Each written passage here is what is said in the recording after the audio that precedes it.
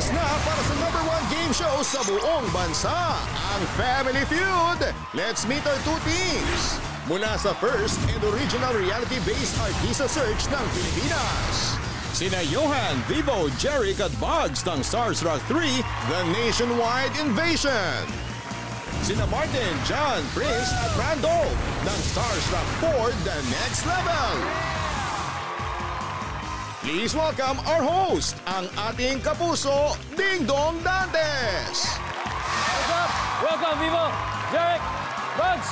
Hanep! Ito, next level! Desoriano! Welcome, welcome! Prince! Good to see you again, Jan! And of course, Mart! Nako, ibang klase! Magandang hapon, mga kapuso! Ah, pwede bang marinig yung ano, yung team song ng Starstruck? Pwede ba? Pwede ba natin i-playback lang konti para medyo... Yun na! Oh! Oh?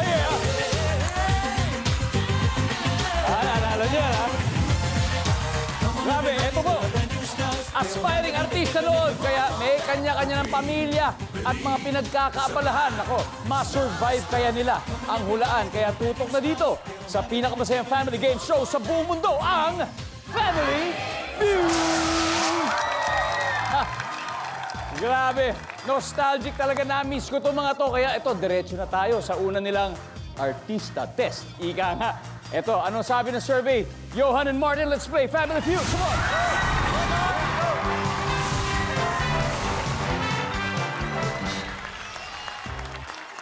Eto, magkaibang batch po. Season 3 at saka Season 4. Pero dito magtatapat sila para sa unang tanong. Top 6 answers are on the board. Sa trabaho o sa opisina, magbigay ng karaniwang dahilan kung bakit may nanlilibre ng merienda. Go!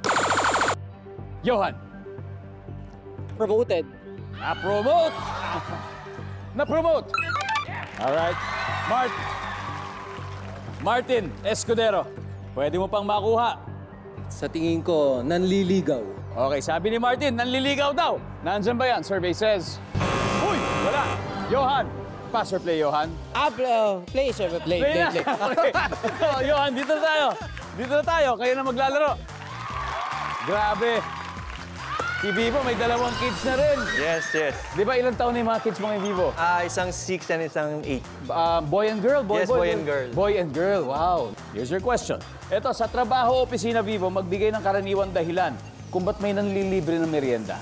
Ah, bagong kasal. Bagong kasal. Oo. Survey says... Wala, Jeric. Alright, Jeric. O si Jeric naman, il- 11 years old na. Oh, 11 He has years an old 11 na. year old 11 daughter. years old na. Here's your question. Trabaho o opisina, ito magbigay ng dahilan kung ba't may nanlilibre ng merienda. Nakabenta. Oh, nakabenta. Andyan ba yan? Nakabenta. Uy, ba't ganun? Ba't ganun? Guys, time to huddle, time to huddle. Pwede na kayo mag-steal. Bugs, Tubong Cebu. Yes At po. nandito ka Yes para sa Family Feud. Welcome. Yes po, Kuya Dong. Thank you, thank you. My pleasure you. po. Thank you good po. to have you. Alam mo, sobrang, um, sobrang saya namin lalo na kapag ah, may mga katulad mo na talagang bumabiyahe. Ito pagkakataon para makamusta mo yung mga nanonood sa atin sa Cebu Bugs. Ah, hello sa mga lahat ng mga taga Cebu, mga family and friends ko dyan. Yan. Ito na yung tanong mo. Sa trabaho opisina, magbigay ng karaniwang dahilan kung ba't may nanlilibre ng merienda. Ah, kakatanggap lang ng sahod po. Ganun ka simple. Nandyan ba yan? Kakasahod lang. Yes, buhay pa. Trabaho opisina, magbigay ng dahilan kung ba't may nanlilibre sa merienda. Siyempre, birthday. Yun na! Sabi ni Johan, birthday! Top answer! Sabi nila, yun sana yung sagot namin eh. Vivo, Tumaas yung sahod. Ay, umabot. Salary increase, tumaas yung sahod. Parang nandun na rin yan sa sweldo bonus. Kanina, mukhang alam na alam ni Prince eh. Sabi niya, "Ayan na!" Kaya nga eh. Ulitin ko yung tanong ha. Sa trabaho o opisina, ano kaya yung madalas na dahilan kung bakit nanlilibre ng merienda? Yun, naregaluhan ng pera. Nirigaluhan ng pera. Pwede, di ba? Nabiyayaan. O kaya ano, nakamana. Nakamana. Nakamana. Okay. Ah. Prince, ano ba kaya ang dahilan? Dahil sa real estate business na ako ngayon, ang sagot ko komisyon, nakakomisyon. Nakakomisyon. Okay, okay, okay. Jan, Ah, tingin ko nagpapalakas sa kumpanya. Nagpapasipsip. Pero, siyempre, Martin, sa'yo manggagaling. Mr. Escudero, Eto, depende kung makikinig ka sa mga fellow Starstruck alumni mo. Sa trabaho o opisina, magbigay ng karaniwang dahilan kung ba't kaya may nanlilibre ng merienda, Mark. Para sa akin talaga yung nabubuyo eh. Madaming nabubuyo dyan na manlibre. Ah, nabubuyo lang. Hindi siya nabuyo ng kanyang teammates. Pero ito, sagot niya, minsan talagang may ganun eh, nabubuyo lang sa, oh, libre ka naman. So tingnan natin kung pasok yun sa steal nila, nabuyo.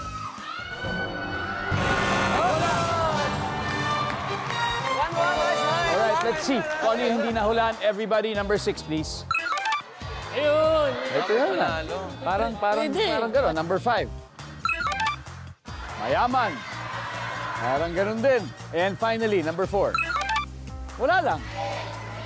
Wala lang. Trip lang niya man libre. Nako, alam nyo, walang pinagbago talaga. Napaka-competitive pa rin ang mga tiga Starstruck 3 kasi nakascore agad sila ng 69 points habang ang Starstruck 4 ay hindi pa nakakascore. I'm, I'm sure gustong gusto nilang bumawi sa round 2 at susunod na yan dito lang sa Family Feud.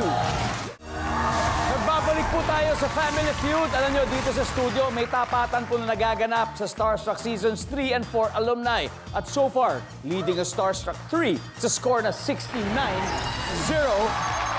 Kaya round 2 na tayo kay Vivo and Jan. Let's play round 2.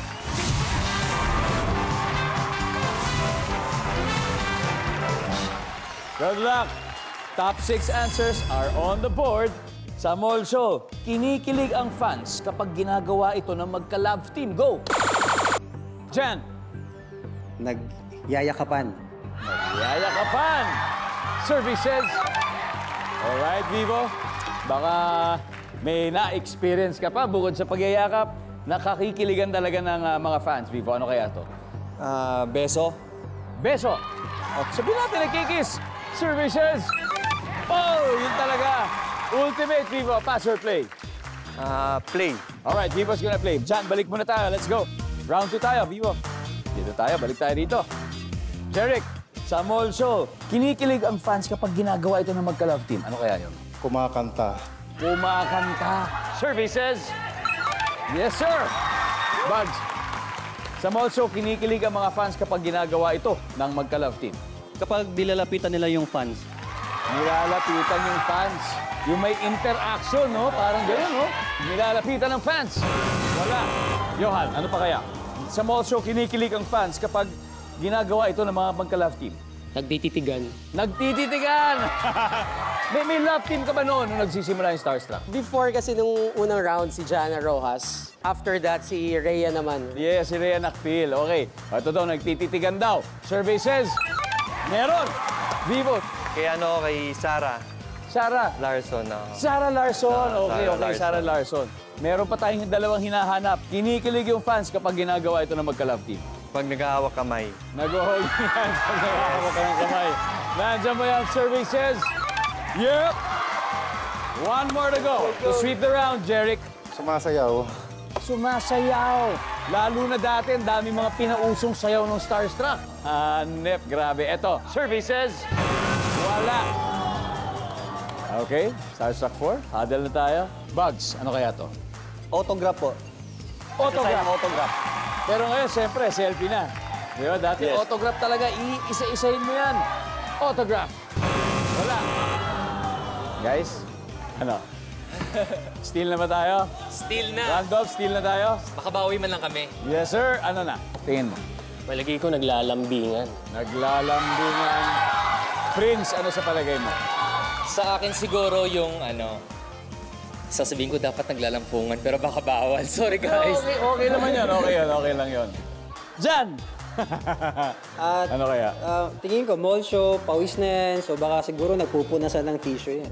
Oy, nagpupuna sila ng t-shirt. Mart, medyo mga gaganda-ganda yung sinabi nila. Baka mayroon ka ring ah, sarili. It's up to you. Sa mall show, Martin, kinikilig ang fans kapag ginagawa ito na magka-love team. Naglalambingan yung mag-love. Naglalambingan. Survey says, wala! Nakakuha na naman nila. Tingnan natin. Everybody, number six, please. Simple lang. Simple lang. Simple lang. Ganun lang. Alam niyo, lalo po lumaki laman ng Starstruck 3. Nakaipon ang kagad sila ng 149 points. Pero bigo na naman ang Starstruck 4. Nako. Makakascore kaya po sila sa susunod na round dahil double points round na sa pagbabalik ng Family Feud. You're watching Family Feud. Alam nyo, magse-celebrate po tayo ng ating second anniversary this March. Nako, grabe, abangan nyo po. Dahil bigatin po ang maglalaro sa ating week-long anniversary special. At samantala ngayon, eh kasama natin ang ating ah, magigiting, magigiliw at na magagaling na studio audience. Speaking of starstruck, yun yung ating episode ngayon. Eh, may kinalaman doon yung, yung ating katanungan ngayong araw. Ito na yung tanong, ha? Bukod sa artista, kanino ka na sa starstruck? Oh. Okay, ikaw muna. Oh, pang- ang pangalan mo, pate? Riza po. Riza, taga saan ka, Riza? Taga Pasay po. So, um, bukod sa artista, kanino ka na sa starstruck? Sa pulis po sa kanto namin. Uy! Galing, ha? Hindi, pero napaka-specific, ha? Pulis sa kanto. Bakit pulis sa kanto? Kasi Kuya Dong, gwapo. Nahuli niya agad yung puso ko. Ayun naman pala. Sino pa? Ha? Ako. Nasa starstruck ako sa'yo. Ha? Ano pangalan mo? Kim po. Sa o ka. Ikaw na nga ba si Kim eh. Kim. Kim. Kim. Oh, sige, bukod sa artista, kanino ka na sa starstruck? Sa nagtitinda po ng yelo sa kanto. Kasi po, Kuya Dong, Hmm. yung titig niya nakakatunaw. Para isang buwan yung inisip yun, ha? Oh, one last. Okay. Ito, ito. Pare, anong pangalan natin? Lawrence po. Lawrence. ah, Kanino ka ba man nasa starstruck bukod sa sa artista? Ay, hindi ko pa na-experience yan eh. Okay, okay. Hindi mo yung paano yung feeling ng starstruck, yung parang... Yung parang gano'n? Kasi sila yung na-starstruck sa akin. Saba, saba, saba! Saba! Dapat ganun! Alam, lupit na itong bata nyo. Anyway, game na tayo ulit. Alam nyo, kung, ah, kung kakatune in nyo lang, ang naglalaro po ngayon ay ang Starstruck. Okay, sa ngayon po, leading ang Starstruck 3. Meron na silang 149 points. Habang Starstruck 4, oh, habol tayo. Habol tayo. Ito, maglalaro na. Sina Jeric and Prince. Guys, let's play round 3.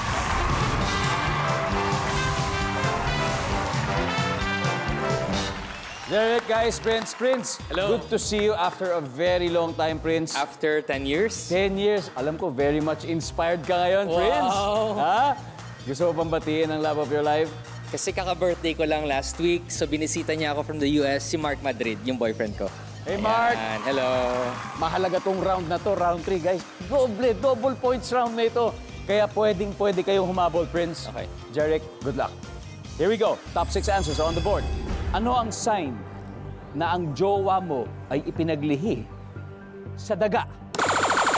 Prince, Pagpalakain, palakain, mahilig kumain. mahilig kumain. Mahilig kumain. Andiyan ba yan? Oy, meron, meron. Mahilig kumatngat. Pero Jeric, meron pang mas mataas yan. Ano kaya yon? Madumi. Madumi. Andiyan ba yung survey says? All right, Prince, pass or play? Play. Let's go, let's go, Prince. Okay. Ito na ang pagkakataon ninyo. Hanep, ito, first time, first time. Randolph, Yan na, ako, yan na. nakakasama ko sa isang commercial. Matagal na. Randolph, again, good to see you. Good to Kamu- see Kamusta you. ngayon? Yes. What, what are you, what are your passions right now? Ah, mahilig ako magmotor, mahilig ako sa ah, magdasal, mag-swimming, magdasal. Wow, wow, wow, Siyempre, okay, kailangan lahat yun. God first, di Ayos lahat yun. Oo. Alright, Randolph, here's your Love you. question.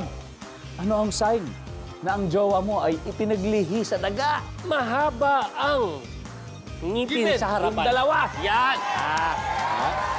Alam na alam ni Randolph. Services. Boom! Oh, wow! Top answer. Congrats, wow! Martin, Martin. Bago ko tanungin yan, gusto ko lang sabihin, alam niyo, isa talaga sa pinaka-paborito kong horror comedy films of all time ay ang Zombadings. Salamat. Kaya Martin, Salamat. sobrang, sobrang happy ko na nandito ka ngayon sa Family Feud. Mart, ngayon, sign na ang jowa mo ay ipinaglihi sa daga. Martin, ano kaya ito? Ah, tingin ko malakas yung pandinig. Uy, kasi di ba yung daga usually kahit walang makita talagang malakas yung pandinig. Nakakarinig sila. Oh, talaga, very, grabe, very specific. We'll see kung nandyan yan, Martin. Services. Wala. Diyan. Diyan, nako. Ang ating kababol, nako ngayon ay Six years ka nang married. Six years ka na married and you have two kids. Yes. And right now, you are a life coach. Life coach. What, what specifically ang tinuturo mo as a life coach? In general ba siya or may parang specific uh, industry siya? So may mga coaches ako na hawak under me sa churches. So Sa ako church? yung uh, nag-mentor sa kanila. Pastor, Yes. pero sa ngayon, since hindi pa nakakatapos ng Bible school, so nandun ako as life coach na kasama ng wife ko. Oh, wow, wow. Galing, galing. Jan, sagutin mo lang ito at uh, one step closer na kayo dahil tatlo na lang hinahanap natin. Ano ang sign na ang jowa mo ipinaglihi sa daga, Jan? Ah, nako, mahilig sa cheese. Mahilig sa cheese? Yan ang inaantay natin. Eh, baka maraming... Mahilig sa keso. Yes, sir. Two more to go, Prince. Kayang-kaya natin to. Ano ang sign na ang jowa mo ay ipinaglihi sa daga? Pag mahilig tumakbo. Ta- Or aligaga. Kasi mahilig siyang mabilis tumakbo. Oh, aligaga. Survey says... Uy. Okay, guys, pwede na kayo mag-usap. Let's go, Randolph. Malaki ang tenga. Malaki ang Mickey tenga. Mouse. Nandiyan bang malaki ang tenga? Yun! Galing, galing. ang galing. Wow. Martin, one more to go bago sila mag-steal. Isa na lang. So, kung makuha mo to sa inyo na tong round na to at definitely lamang na kayo, lamang na ang Starstruck Season 4. Ano ang sign na ang jowa mo ay ipinaglihi sa daga, Martin? Tingin ko, iba mataba rin yan eh. Matataba yung daga eh. Matataba yung daga, mga nasa estero. Survey says... Oh, wala, wala, wala. Ito na pwede mag-steal, ha? Very careful lang, careful. Kasi kung mali ito, sa kanila lahat ng 128 and more bugs, ano kaya to? Ah, mabalahibo. Balahibo. Jeric, Ganun din, ang gaya sabi niya. Mabalahibo. Vivo. Same? Same, same. Same. Alright, for the win. Kumpira sa iyong jowa, ano ang sign na ipinaglihiyan sa daga, Johan? Mabalahibo yung daga. Doon na sila sa balahibo. Tingnan natin kung tama to sa kanila lahat at lalamang, sobrang lalaki yung lamang ng maraming buhok. Malalaman natin sa pagbabalik ng Family Feud. Welcome back Family Feud. Malapit na po. Malapit na po natin i-celebrate ang second anniversary ng Family Feud. This March na po yan, kaya abangan ninyo dahil may mga bigatin po na maglalaro sa ating week-long anniversary special kaya hindi na po kami makapag-antay.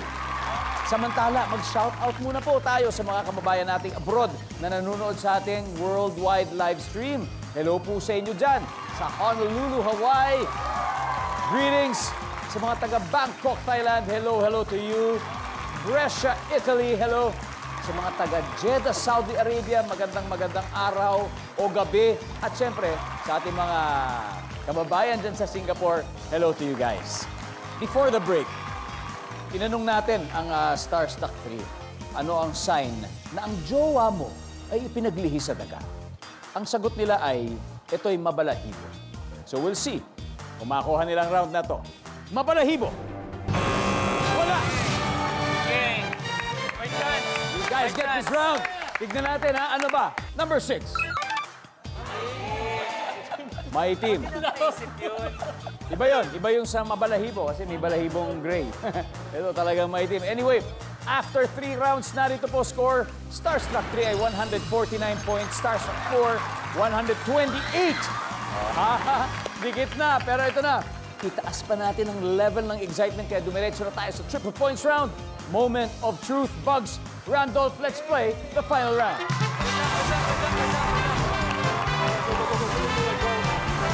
Here we go. Eto na. Bago po ang ating huling round, ito talaga matagal ko nang gusto makita tong throwback na to. May play tayo at mapapanood na ng mga kapuso natin at mapapanood nyo rin. Watch this.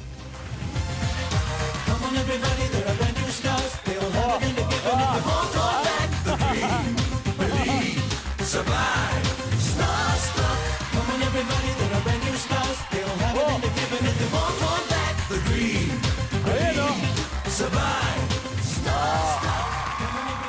Papatalo ba ang Starstruck uh, Batch 4? Panorin din natin to.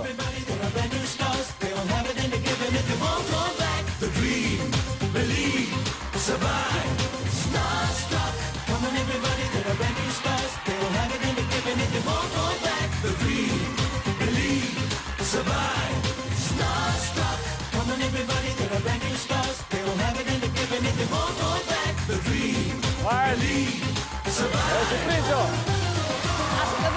14 yung kinukuha, di ba? 14. Pang ano yata ako, pang ah, 15. Oh, and a I half. see. Oh. Ah, 15 and a half. Pero anyway, eh, di bali, mahalaga Okay kasama oh. ka pa rin sa top 16, di ba, Randolph? Yes, sir. At ang mahalaga ay umabot kayo ng round 4 at humahabol kayo.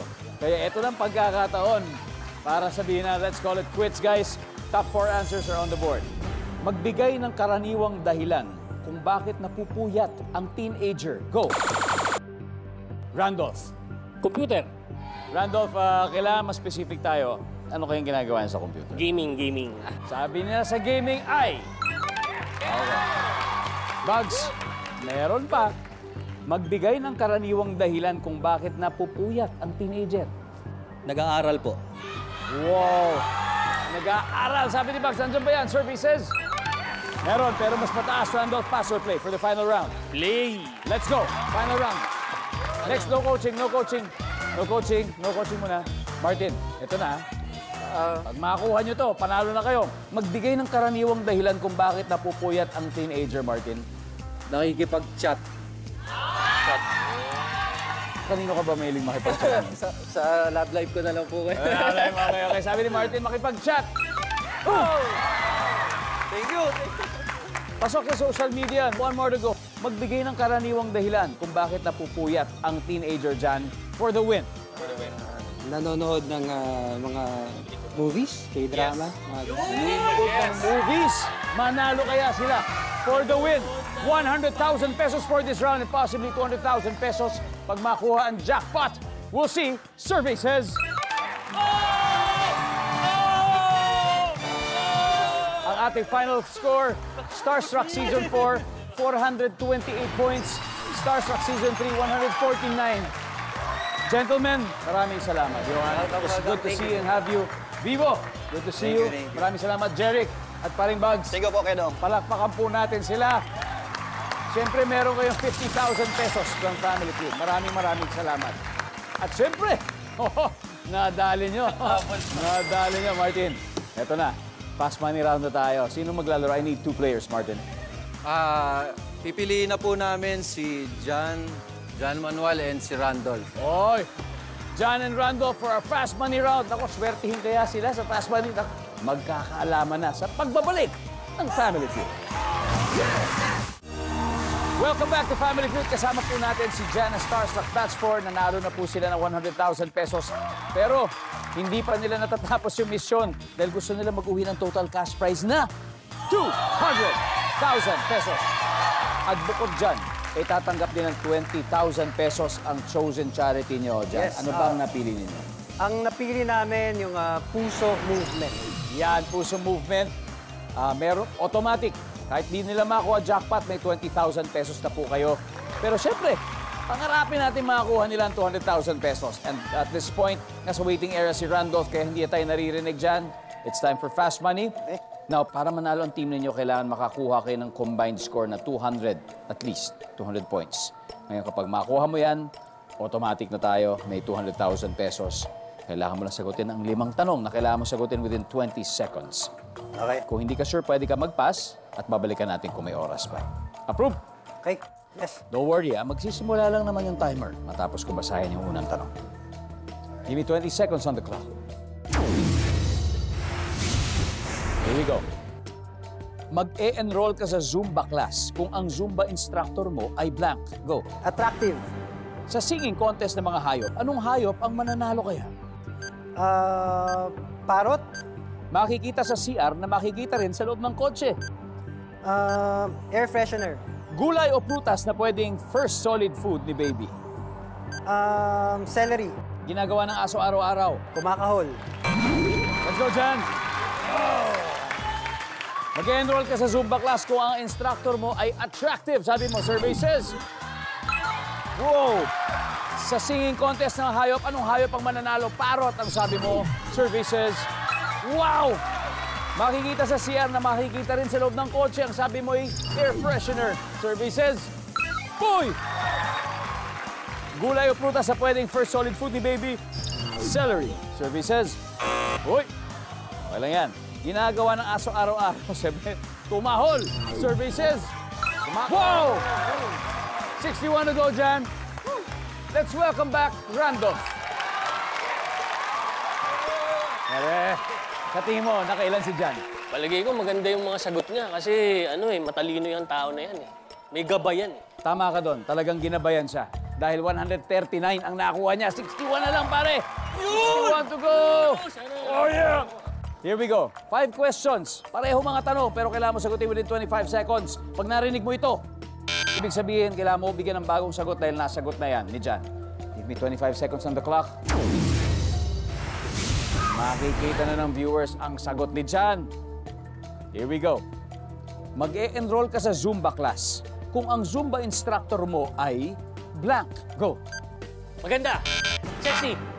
Sa singing contest ng mga hayop, anong hayop ang mananalo? Elepante. Makikita sa CR na makikita rin sa loob ng kotse. Bel. Gulay o prutas na pwedeng first solid food ni baby. Mangga.